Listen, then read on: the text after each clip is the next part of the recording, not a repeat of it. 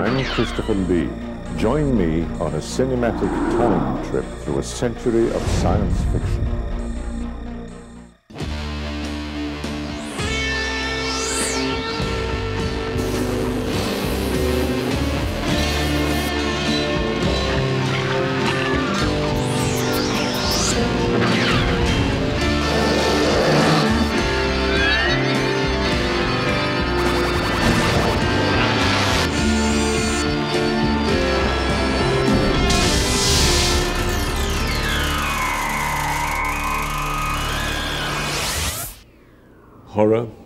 Fantasy, and science fiction are often lumped together, particularly on the shelves of video stores. There are, however, certain basic differences. A fantasy film uses a supernatural, unreal element, be it a scientific impossibility or a mythological concept. Science fiction takes a known scientific invention or concept and elaborates upon it. Writers and filmmakers may elaborate upon technological fact. But what keeps these stories interesting, if people are doing their job properly, is the human factor. Request Audiobooks presents A Century of Science Fiction. Titans of Science Fiction, H.G. Wells and Jules Verne.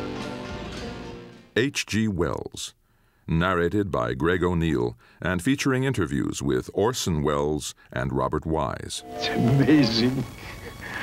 You will be of great help to us.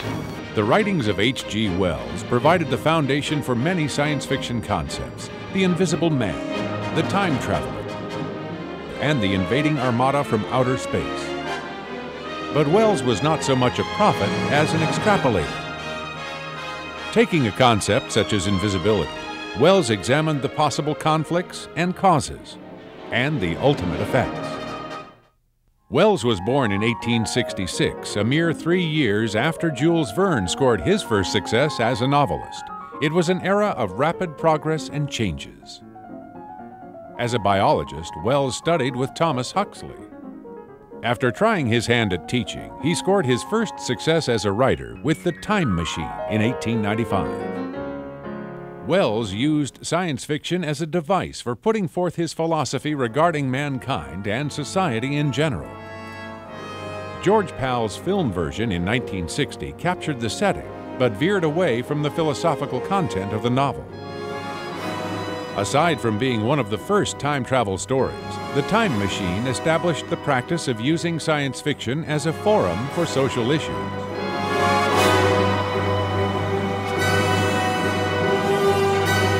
Why is it that we usually ignore the fourth dimension? You, you see, we can move in the other three. As the doctor said, up, down, forwards, backwards, sideways. But when it comes to time, we are prisoners.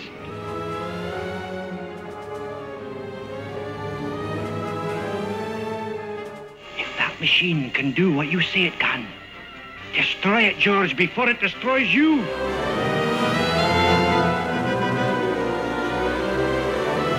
Wells probably would not have approved of the sentimental tone of the film or the concentration on the futuristic lovers played by Rod Taylor and Yvette Mimieux. How do they wear their hair? Who? The women of your time. Up like that? Show me. The time traveler journeys into the future. He discovers the divided world of the Eloi and the Morlocks. The Eloi appear to live in luxurious idleness, but are actually being bred like cattle for consumption by the predatory Morlocks. As with Jonathan Swift and his satire Gulliver's Travels, the fantastic setting of the time machine served merely as a background for expounding on deeper meanings. The novel inspired several sequels from other novelists. Time After Time is a film sequel of sorts, using H.G. Wells himself as the time traveler, chasing Jack the Ripper from Victorian London into the world of 1979 America. Gentlemen, I am talking about traveling through time in a machine constructed for that very purpose. You throw me the key, and I'll release the girl. On your honor, John. You have my word as a gentleman. Now, there's just one thing. I would have expected that you'd notice by now that I am not a gentleman. Say goodbye.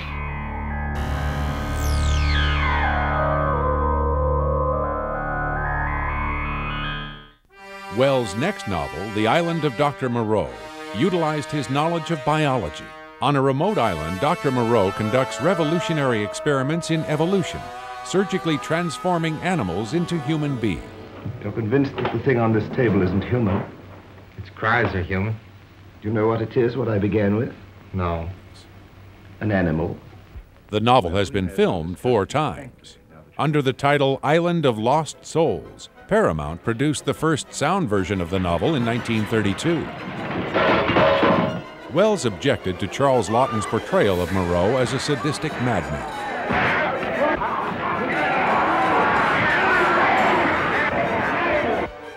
I'm not beaten.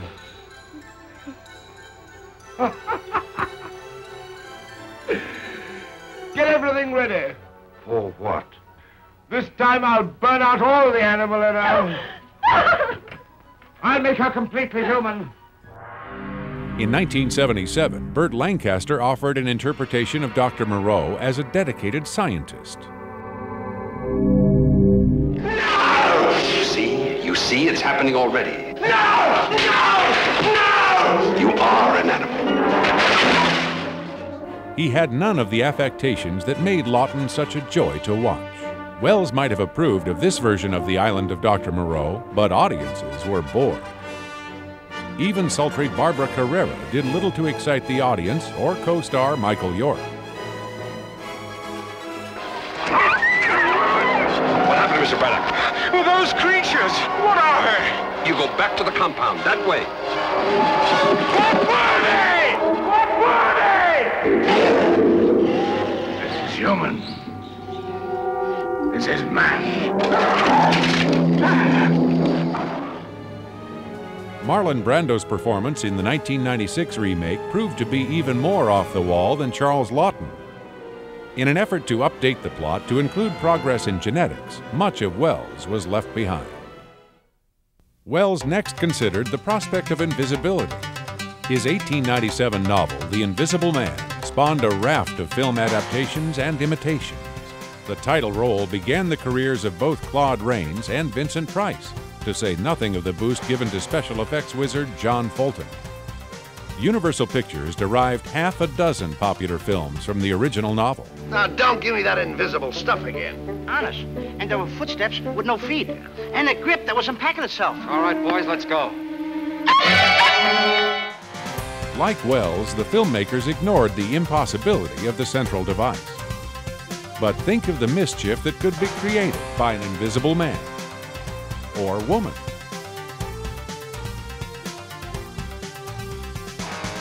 She's Gone! Don't you dare come back here! Why, something's still showing? You're materializing. Go get your clothes on. Why, Professor, I'm ashamed of you. Get me a nurse, get me a doctor, get me something. George, we better get the professor. What for? To cheer up a lot of bedclothes? Come clean about how this machine works. Make me invisible. I did not invent that machine to make killers like you invisible. Oh, this is gonna be good. Whoopee! Those are the noisiest grasshoppers I ever heard. you, Christopher Columbus, we're being shot at!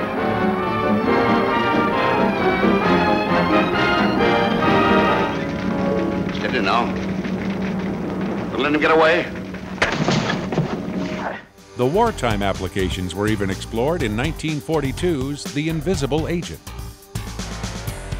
There's an enemy spy at large, an invisible man. The Invisible Man impacted science fiction greatly, to be sure. But the impact of the War of the Worlds is still being felt to this day. The novel appeared in 1898, a time when the horse and buggy were still the most common form of transportation. The idea that a being from another planet could construct an armada capable of journeying millions of miles across space required a tremendous stretch of the imagination. Wells' vision of a superior technology inflicting its will upon Earth would be one of the key premises of science fiction in literature and on the motion picture screen. As early as the 1930s, both Cecil B. DeMille and Russian director Sergei Eisenstein planned a film version. While the filmmakers delayed, Orson Welles put a real Halloween scare into radio audiences with his broadcast of 1938.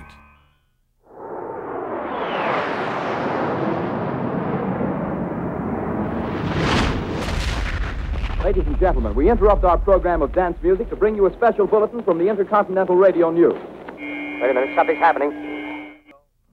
Done as a simulated newscast, listeners actually believed that an army from Mars invaded Grover's Mill, New Jersey. Panic ensued.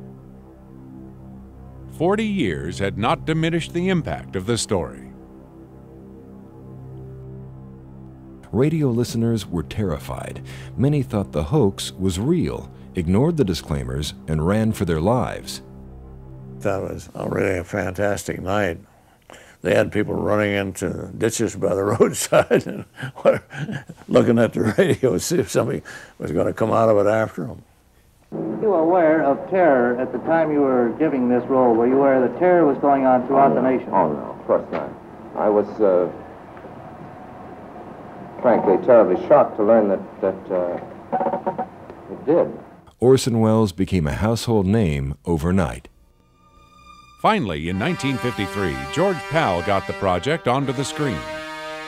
The location was changed from London, England, to Los Angeles, California. Looks like they're going to come out of that gully pretty soon. We'll have to rush our defenses to be ready when they do. Guard, you need plenty of reinforcements. We'll get them. Lieutenant! Look!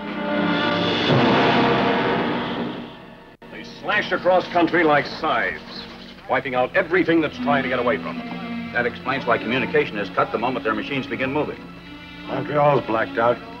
Nothing more has come through. Same thing that happened on the Pacific coast. Anything from them yet? No, Mr. Secretary. We've had nothing from San Francisco for over five hours.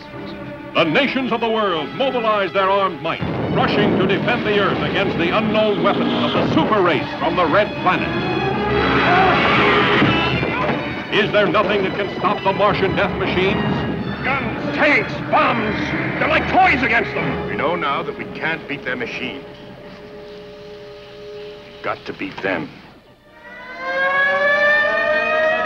All over the world, human beings cower before the onslaught of these unearthly enemies, whom no one has ever seen.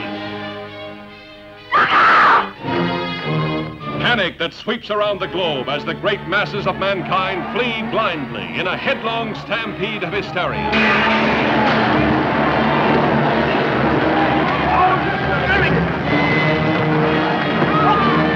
Paramount's Color Special Effects Show won the Oscar that year. Aside from the George Pal movie, numerous films have gleaned inspiration from the War of the Worlds. Ray Harryhausen's Earth versus the Flying Saucer and the 1996 box office blockbuster Independence Day owe a great deal to the genius of H.G. Wells. Three years after writing The War of the Worlds, Wells turned the tables with The First Men in the Moon. Using anti-gravity screens, a scientist on Earth constructs a vehicle that travels to the moon. Many of the Wells ideas were used in Georges Méliès's Trip to the Moon the following year, even though the projectile was borrowed from Jules Verne's From the Earth to the Moon. This marked the only collaboration between the two authors in fact or fiction. Sixty years later, Ray Harryhausen utilized his special effects wizardry to recreate Wells' version in Columbia's First Men in the Moon. Even the anti-gravity scenes were included. This is a solemn moment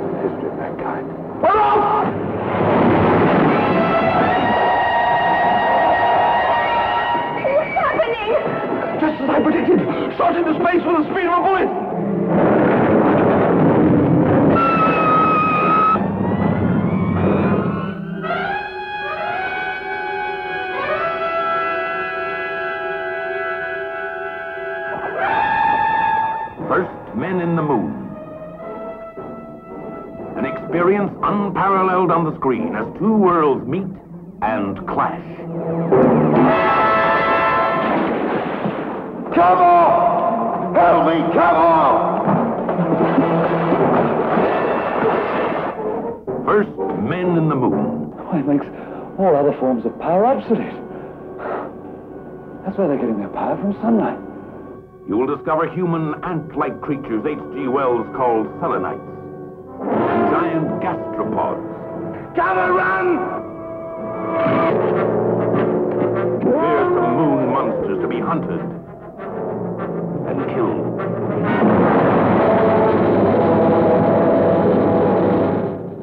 You will encounter another world. I'm the only one who holds the secret of Cavorite. You and your secret will remain here on the moon. Cavor! Cavor, this is not an audience. You're on trial. No, no! Convicted.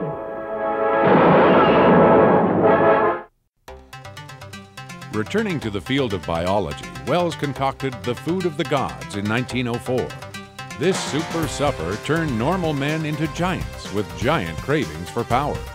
Despite the opportunities for spectacular effects, the novel remained unfilmed for 60 years. In 1965, Bert I. Gordon added Village of the Giants to a list of credits that included The Amazing Colossal Man and Beginning of the End. The giants of the title included young actor Beau Bridges. Beau's career moved up from there. Evidently not happy with Village of the Giants, Bert Gordon remade the film a decade later, reverting to the original title. They're out there. All over the place. Big rat. Everywhere! Come on!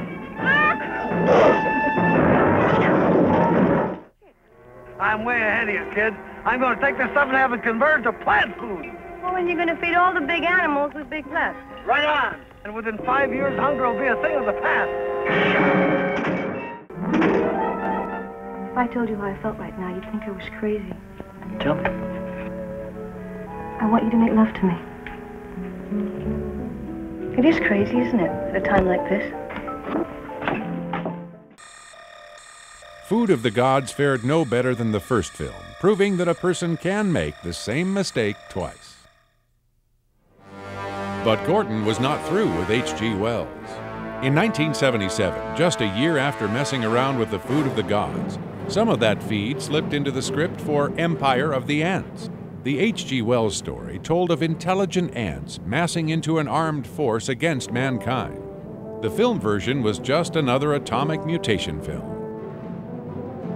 Ah, let's get out of here. Come on.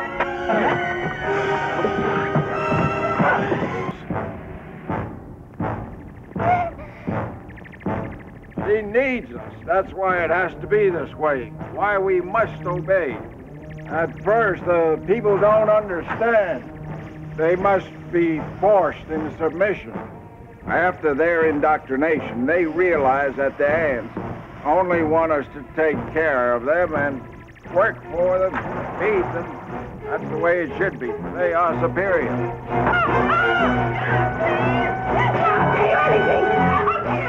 What? I mean, they don't want us to go that way, and they don't want us to go back the way we came. My God, they're hurting us like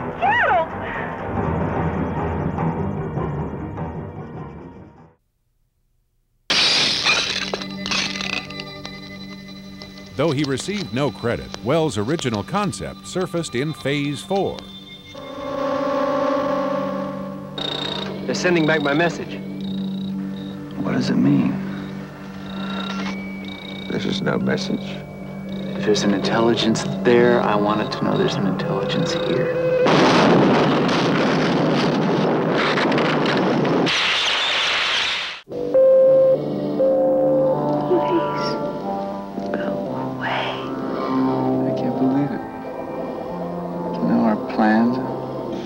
Strengths, our weaknesses.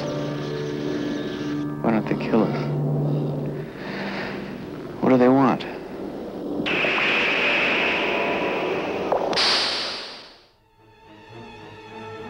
The War in the Air, written by Wells in 1908, predicted an invasion of England from the sky.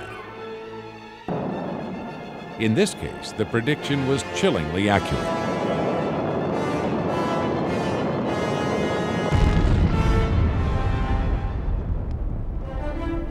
Film inspired by the novel appeared that very year, 1908. Released under a variety of other titles, Battle in the Clouds featured armored vehicles and a primitive form of guided missile or aerial torpedo.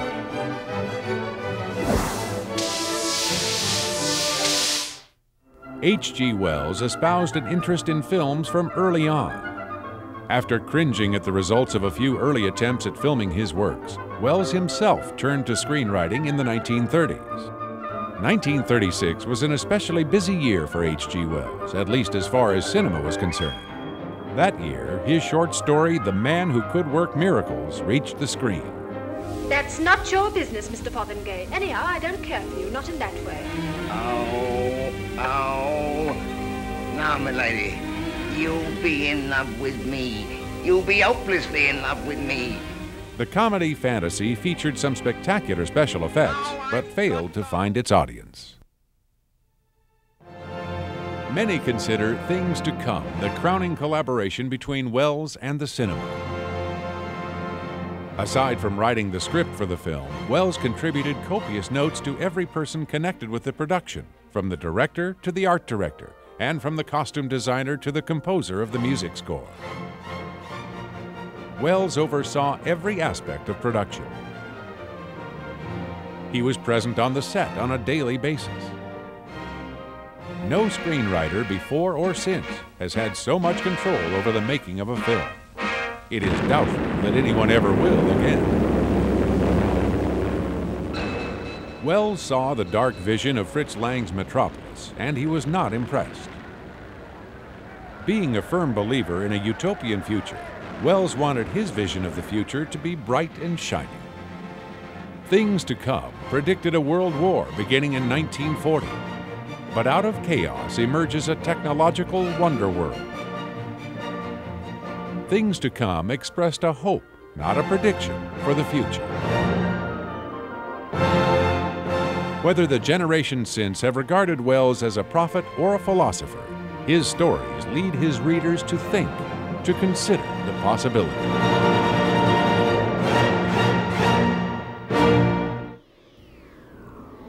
In the last century, we have seen nearly uncountable changes in science and technology, but human nature remains constant. Hate and fear, love and desire, self expression and self doubt, greed and sacrifice. These basic components of the human spirit never change.